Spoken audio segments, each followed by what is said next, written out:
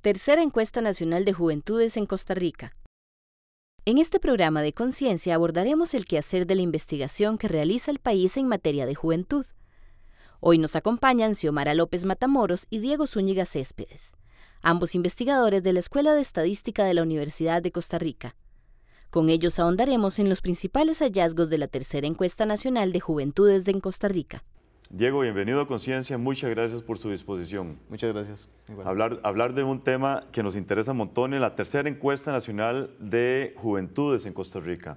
A propósito, esta semana, particularmente el 12 de agosto, se celebra el Día Internacional eh, de, la, de, la, Juventud. Entonces, Conciencia, muy preocupado por esta, por esta eh, eh, temática, ha decidido desarrollar este programa casualmente en esta semana. Diego, el, Consejo de la Persona Joven es una entidad del Ministerio de Cultura y Juventud que tiene una unidad de investigación a la cual ustedes están adscritos, ustedes pertenecen. ¿En qué consiste esta unidad de investigación? Porque eso es totalmente nuevo para, para nosotros. Claro. Bueno, lo primero que habría que decir es que el Consejo de la Persona Joven es un rector en materia de política pública para las personas jóvenes.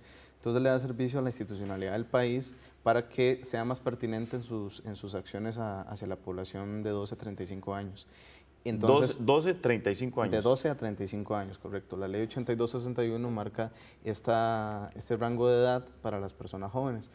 Y en ese marco, el Consejo de la Persona Joven tiene varias unidades eh, en su estructura organizativa. Una de ellas es la unidad de investigación que se encarga de generar datos, investigación, encuestas y, y demás para ponerlo al servicio de la sociedad en su conjunto y especialmente a las instituciones que son las que están haciendo eh, la política pública en la práctica, ¿verdad? En, todas las comunidades de nuestro país.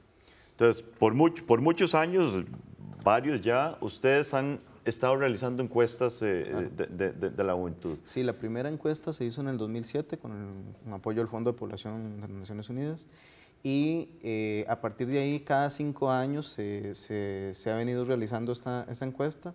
La segunda fue en el año 2013 y la más reciente, que es la que sujetó nuestra conversación el día de hoy, es del 2018. Ya, ¿Por, por, qué hacer encuestas cada cinco años, eh, eh, Diego? Es importante hacerlas cada cinco años porque la sociedad va avanzando, va transformándose, la realidad de las personas jóvenes avanza a un ritmo muy vertiginoso y eh, indudablemente una encuesta es una fotografía de un momento de esa sociedad, una fotografía de ese, de ese, momento y para tener los datos actualizados de qué es lo que está pasando con las personas jóvenes, es importante tenerla actualizada en una periodicidad de cada cinco años. Usted definió persona joven de 12 a 35 años. En, en el contexto de la población actual costarricense, ¿Qué porcentaje representa eh, este sector? Con datos del censo 2011, que es el censo más reciente que hizo el Instituto Nacional de Estadística y Censos, es un 42.3% de la población eh, conforme a este grupo de edad. Bastante alto. Es bastante, bastante alto y por lo tanto es una población que tiene que estar en, los primeros lugares también de importancia de la sociedad. Ya, eh, con la encuesta del 2018, ¿qué, se pretende determinar? ¿Cuál es el objetivo de la encuesta? Bueno, tiene varios focos. Eh, ¿Siempre la misma encuesta se modifica? Coméntenos un poquito esa parte primero. eso ha venido variando, viene mejorando el instrumento con el pasar de los años. Eh, hay realidades que cambian, por ejemplo, la realidad del uso de redes sociales o de teléfonos celulares, tal vez en el 2007 tal vez no era tan importante, son, son, son cuestiones que vienen cambiando con el pasar de los años y indudablemente el instrumento viene cambiando también a la par de esos cambios de la sociedad. ¿verdad? Eh, esta encuesta habla de, trabajo, habla de sexualidad, habla de salud, de las relaciones de pareja, eh, habla de la ocupación, el tiempo libre, la participación ciudadana de las personas jóvenes, es decir, abarca varios ámbitos de la realidad de las personas jóvenes. Para tener esa fotografía lo más cercana y para que las políticas públicas puedan hacer lo propio para... Obviamente es una encuesta a nivel nacional, o sea, comprende toda la juventud del país. Correcto, es una encuesta a nivel nacional, la diferencia de, esta encuesta que, que nos ocupa el día de hoy es que esta, eh, la muestra se construye a partir de las regiones de planificación del Ministerio de Planificación del, país. Son seis regiones y entonces eh, la muestra se extrae de esas seis regiones, que son la región central, la Chorotega, la Huetar Norte, Huetar Caribe, Pacífico Central, Pacífico Sur, ¿verdad? Eh, son las regiones que, en, las que se organiza el Ministerio de Planificación en el país y en función de eso nosotros nos articulamos. Entiendo perfectamente la importancia de una encuesta, eh, Diego, pero, pero vamos un poquito más allá. Eh, todos esos datos que se generan, que son enormes, me imagino, eh, coméntenos, no, obviamente de la del 18 no, porque estamos, está en proceso, pero las experiencias anteriores, 2007 y 2013, ¿qué ha pasado con esos, con esos, datos? algo, algo tiene, tiene carácter vinculante, digamos, los resultados de la, de la encuesta las diferentes instancias lo toman en, serio. Coméntenos la, repercusión de la encuesta. Bueno, eso es justamente la función del Consejo de la Persona Joven, de, de, tener un instrumento a la par de la encuesta que se llama Política Pública de la Persona Joven, que es otra parte del quehacer del Consejo de la Persona Joven y que está directamente vinculado. Eh, la política pública de la persona joven se alimenta de los datos de la encuesta y justamente le pide a las instituciones generar acciones eh, para, para beneficio de las personas jóvenes. Y este, tenemos una unidad de monitoreo que está constantemente eh, visualizando si están avanzando las instituciones con respecto a lo que plantearon en la política pública. Justamente el próximo semestre vamos a iniciar el, proceso de construcción de la nueva política pública y los datos de esta encuesta van a verterse eh, justamente en acciones en este, en este proceso. Particularmente 2007 y 2013, eh, ese, ese monitoreo, coméntenos vamos, es que, es que estoy preocupado de que no, no pase nada, que se hagan las encuestas, porque son, es un recurso extremadamente eh, eh, caro, ¿verdad? Este, y, que, y, que, hay que, como muchas cosas que quedan en, en, los papeles, o sea, el, el, más allá de la encuesta, eh, con respecto a 2007 y 2013, lo que usted conozca. Bueno, el país ha venido teniendo una preocupación por el tema del empleo en las personas jóvenes, la, la forma de, de, de, emplearse de las personas jóvenes ha, preocupado bastante al país y eso ha venido mirándose en las encuestas y demás eh, sé de iniciativas del Ministerio de Trabajo que han trabajado. La, forma de emplearse y el, desempleo y subempleo también, Exactamente. Que me imagino que sale reflejado en la encuesta. el Ministerio, ha venido, el Ministerio de Trabajo ha venido realizando algunas acciones en, en, esta materia. El programa Empleate, por ejemplo, que fue un programa que surge del trabajo del Consejo de la Persona Joven y se instala como un programa permanente en, el Ministerio de Trabajo. También recientemente eh, inició el programa de Mi Primer Empleo, que que da cuenta de una, de una realidad de las personas jóvenes eh, eh, muy importante y es que las personas jóvenes cuando van a conseguir trabajo, que lo primero que les preguntan es ¿y su experiencia? Exacto. Y, y es un círculo un poco vicioso, porque eh, entonces la experiencia ¿dónde la obtienen si no tienen la, la posibilidad de, de, de, entrar al mundo laboral? Y, y, ese tipo de cosas se reflejan en estas encuestas y, y, se han venido trabajando, sin embargo, el país requiere avanzar hacia un sistema nacional de empleo que, que apoye a las poblaciones jóvenes que estudian ni trabajan, que, que, también se reflejan en, esta, en esta encuesta. Y entre más joven, más difícil tener empleo, eh, completando ese círculo vicioso que usted estaba eh, comentando. Es correcto, ¿verdad? es correcto porque eh, en las personas jóvenes también sufren de discriminación o de autocentrismo, se, piensa que por, por, la condición de persona joven no tiene alguna capacidad para ingresar el mundo laboral, lo que es totalmente falso y es un estereotipo que se le ha asignado a las personas jóvenes, eh, pero justamente eh, para eso está la institucionalidad, para resolver este, esta serie de situaciones que, que, vienen enfrentando las personas jóvenes. Perfecto, Diego, muchas gracias. Regresamos en el siguiente segmento con Xiomara para hablar un poquito de la parte metodológica propiamente dicha de la encuesta. Ya regresamos.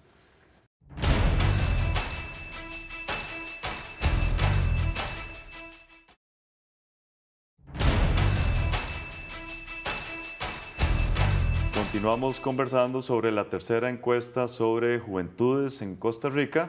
En este segmento nos acompaña Xiomara. Muchísimas gracias, Xiomara, por Más bien, gracias a ustedes por la invitación. Hablar de un tema que, que, nos interesa muchísimo aquí en Conciencia. Eh, coméntenos toda esta parte eh, metodológica. ¿Cómo diseñan el muestreo ustedes y todo lo que viene atrás de este muestreo? Ok, bueno, algo importante es que la población de estudio para las encuestas nacionales de juventudes son personas entre los 15 y 35 años que vivan en viviendas individuales. aclaremos esto porque habíamos hablado del periodo entre 12 y 35.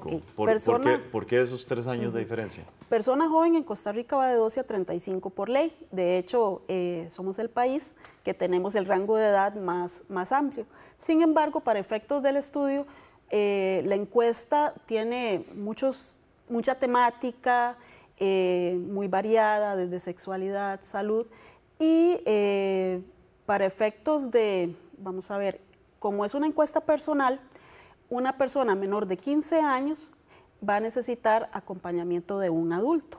Entonces, y como es una encuesta personal y hay eh, temática sensible, que nosotros utilizamos tarjeta que la persona tiene que leer para que pueda contestar.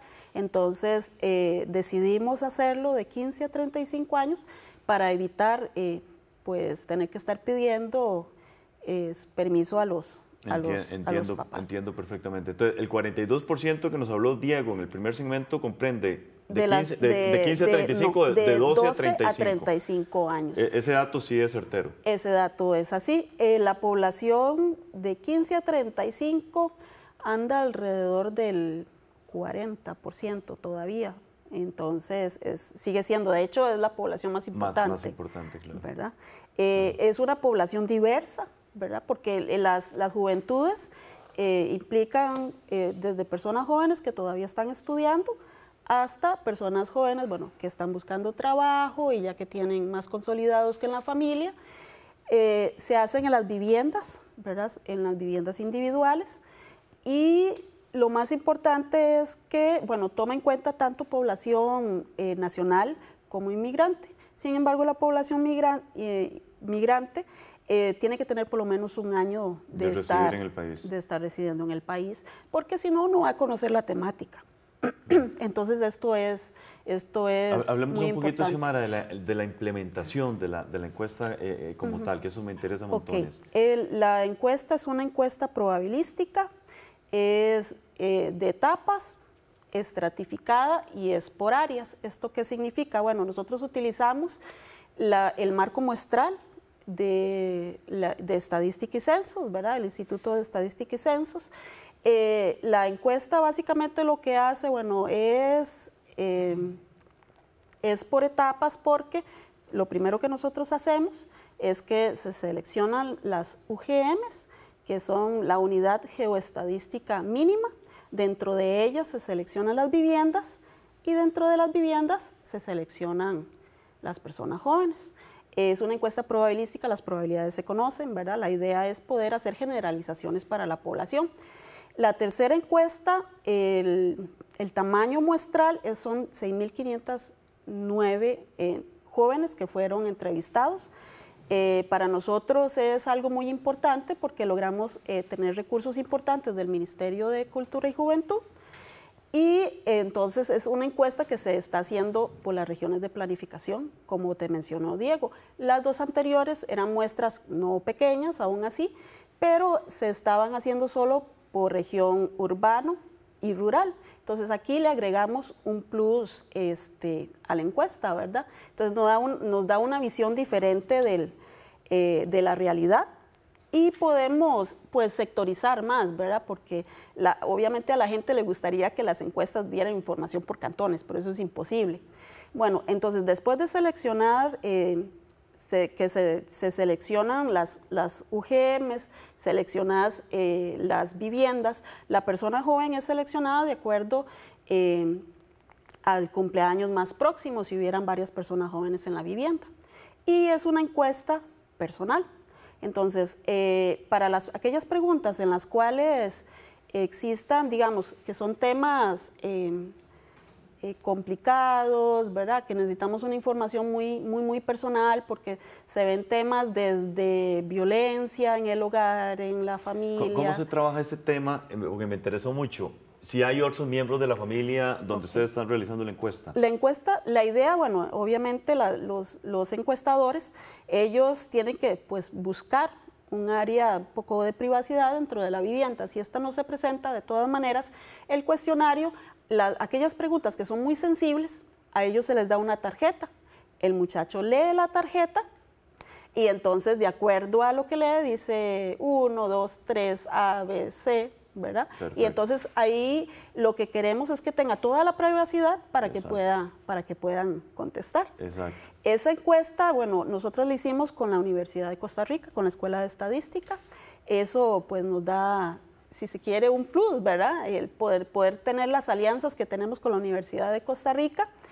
Este, y ¿Cómo, entonces, ¿Cómo se construye el cuestionario? Eso, eso también me llama muchísimo la atención. Okay, el cuestionario, bueno, ya tenemos ¿Quiénes, tres... ¿Quiénes participan? Ok, ya tenemos tres encuestas. El primer cuestionario fue un reto, ¿verdad? Son, los cuestionarios son largos, son más de 120, 140 preguntas Ah, en total. bien. Mm, Es bastante grande, muchos temas. Y entonces, bueno, ha sido todo un proceso. La idea del cuestionario es que siempre va a haber una temática que a través del tiempo vamos a poder estar estudiando, ¿verdad? Que eso es muy importante, pero también va a haber una parte de la temática que va a ser o un tema del momento, una necesidad del momento, eh, o sugerencias, porque entre nosotros, antes de, bueno, obviamente la base va a ser siempre cuestionario anterior, ¿verdad? Siempre hay mejoras, hay preguntas que se pueden cerrar, hay otras que te diste cuenta que no funcionaron, que se debieron haber planteado de una manera diferente, y entonces estos cambios los hacemos. Eh, antes de, ya de tener el cuestionario final, eh, se invitan instituciones, tanto públicas como privadas, investigadores, gente que ha utilizado el, pues, los datos de la encuesta y entonces, con base a toda esa información que tenemos, eh, se hacen las mejoras en el cuestionario. De hecho, por ejemplo, para el fondo de población, lo que es la parte del embarazo adolescente, algo que se agregó que es muy importante es poder tener conocimiento de aquellas eh, mujeres que tuvieron sus primeros hijos antes de los 19 años. Entonces, esto para política pública y para la utilización de otras instituciones son temas importantes. Entonces, en realidad se hace con cooperación. Esto se vuelve como pedirle al niñito Dios, por supuesto. Hay cosas que se pueden, y, eh, porque tenés que sacrificar, eh, son por lo menos 140 preguntas y tenés que sacrificar, sabes que hay unas que, que siempre van a estar ahí, pero entonces es, bueno, eh, te puedo incluir esto, pero esto no, entonces eh, se toman todas las sugerencias y se hace todo un análisis, ¿verdad? El, el- el cuestionario es eh, realmente un proceso muy largo para poder tener una versión final, ¿verdad? Hay una cuestión política también, Claro, ¿verdad? imagino, Intereses de ahí, a nivel país. Lamentablemente nos quedamos sin tiempo, Simara. Algunas preguntitas que son extremadamente importantes se las voy a plantear a Diego en el siguiente eh, Perfecto. segmento. Le agradecemos muchísimo. Bueno, más bien atención. muchas gracias. Ya regresamos con todas y todos ustedes.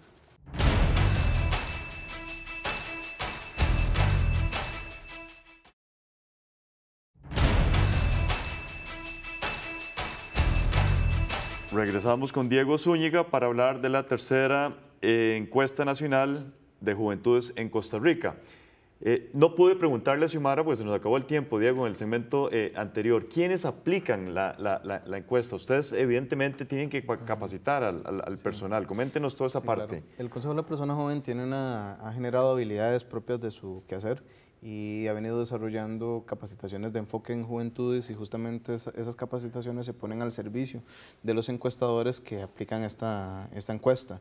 Esto surge como una contratación con la Universidad de Costa Rica y a esas personas el Consejo de la Persona Joven les da esa capacitación de enfoque en juventudes. Es, es un esfuerzo extraordinario, concentrado en muy pocas eh, eh, semanas. Yo quiero que hablemos un poquito de las alianzas estratégicas que ustedes realizan con otras instituciones, además de la Universidad de Costa Rica. Bueno, como lo mencionamos en el primer segmento, el Fondo de Poblaciones fue el que puso la semilla de este proceso de tres encuestas ya en el país. Eh, la Universidad de Costa Rica, por supuesto, el Tribunal Supremo de Elecciones también nos ha apoyado con lo que ha sido uno, uno de los productos de- que también surgen a la luz de esta, de esta encuesta, que es la revista de, de Juventudes.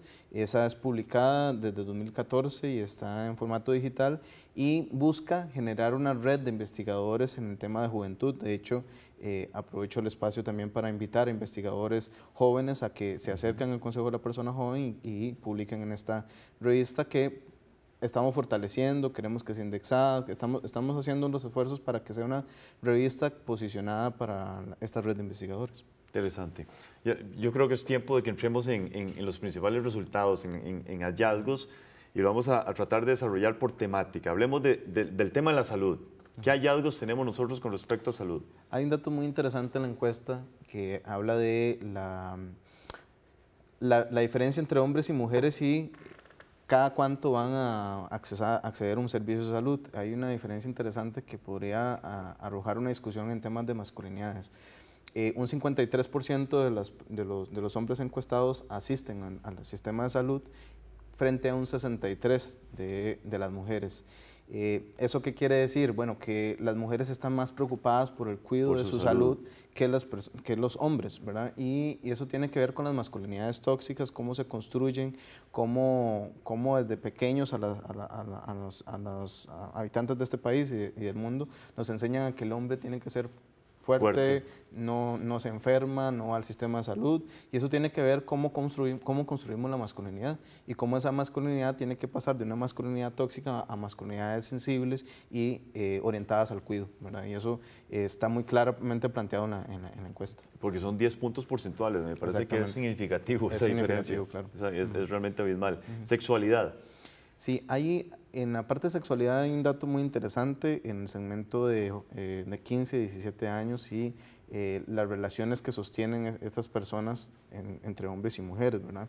Eh, los hombres entre 15 y 17 años, un 18% tienen relaciones con personas mayores de edad, frente a las mujeres que es un 63%.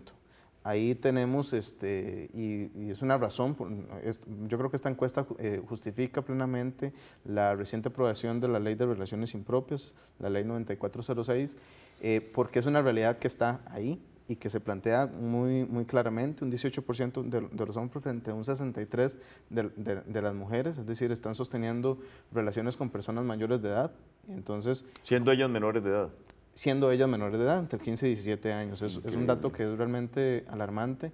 Si lo comparamos también con el tema de eh, cuántas de, las mujeres encuestadas eh, que, tienen hijos, cuántas tuvieron sus hijos antes de los 19 años, este, es casi la, mitad de, las mujeres. Es decir, hay una realidad que nos salta, que, es ahí evidente, que la encuesta lo hace, lo hace ver de esa manera y que nos, nos, da luces hacia dónde tiene que avanzar la política pública. La, la, educación sexual es un tema impostergable que tenemos que seguir avanzando como, como lo, hemos, lo, hemos, hecho como país.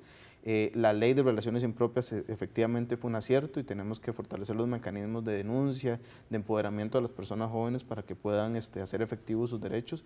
Y, y, y es claramente es lo que busca esta, esta, encuesta, ser un instrumento para la política pública, dar datos duros para que los tomadores de decisiones puedan eh, ser más pertinentes en la, hora de generar acciones. Interesante. ¿El inicio de las relaciones sexuales es eh, eh, diferente entre hombres y, mujeres? bueno, la encuesta tiene una, una, una, pregunta del inicio de las relaciones sexuales. Ahorita no, no, tengo dato de la diferencia entre hombres y mujeres, pero la mayoría inician las relaciones sexuales entre los 15 y los 17 años y es un 34%. 34%. Entonces, ahí hay otra justificante de por qué las clases de educación sexual tienen que estar orientadas hasta, a esta población en primera instancia. Claro, adicciones. Adicciones. El, el tabaco es, es una de las, de, las, de las drogas de más, de más consumo en el país. Eh, ahí, bueno...